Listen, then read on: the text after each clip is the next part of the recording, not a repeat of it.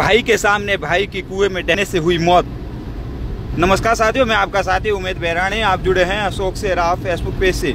साथियों, ये तस्वीरें बाड़मेर ज़िले के सदर थाना क्षेत्र के सनावड़ा के चाकड़ों की ढाणी की है, जहाँ पर कल देर शाम को चार बजे तीन मजदूर कुएँ पर काम कर रहे थे। संचा जो भरने का जो काम होता है, वो काम कर रहे थे और इसी दरमियान एक युवक जिसका नाम देवाराम बताया जा रहा है। 40 वर्षीय देवाराम की कुएँ के अंदर डहने से मौत हो गई है। लगातार जैसे ही प्रशासन को सूचना मिली तो प्रशासन मौके पर पहुँचा और एनडी, एसडीआरएफ की टीम वो भी मौके पर पहुँची, बीएसएफ की रेस्क्यू टीम वो भी मौके पर पहुँची और लगातार जो है वो रेस्क्यू जारी है।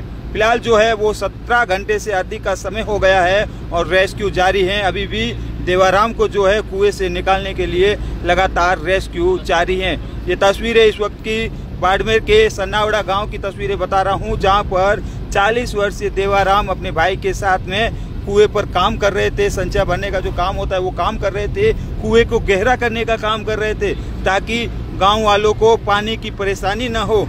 पानी को लेकर इन दिनों लगातार जो परेशानियाँ चल रही हैं, वो परेशानी गाँव वालों को ना हो, इसको लेकर गहरे कुएँ को जो है वो गहरा किया जा रहा था। लगातार पिछले सत्रह घंटों से देवाराम को कुएँ से बाहर निकालने के लिए रेस्क्यू जारी है और आप देख पा रहे हैं किस तरह से एक हिटाची मशीन, दो जेसीबी, कई सारे ट्रैक्टर और जो सबसे बड़ी चुनौती जो प्रशासन के सामने आ रही है देवाराम को निकालने के लिए, वो यही आ रही है कि जो मिट्टी मिट्टी चिकनी होने की वजह से बार बार मिट्टी स्लिप हो रही है, मिट्टी नीचे आ रही है। जिसकी वजह से देवाराम को निकालने के लिए मुश्किल हो रही है और इस वक्त की जो तस्वीरें और बड़ी अपडेट मैं आपको दे दूँ तो ये बता दूँ कि अभी अभी एक जो हिटाची मशीन है, बड़ी वाली हिटाची मशीन है, वो एक और मंगवाई गई है ताकि जल्दी से जल्दी रेस्क्यू करके देवाराम के शव को जल्दी से जल्द बाहर निकाला जाए। तो बहुत बहुत शुक्रिया, धन्यवाद। आगे की और तस्वीरें हम आपको इसी मामले को लेकर जो भी अपडेट होगी वो हम आपको देते रहेंगे। तब तक के लिए दीजिए इजाज़त। बहुत बहुत शुक्रिया, धन्यवाद।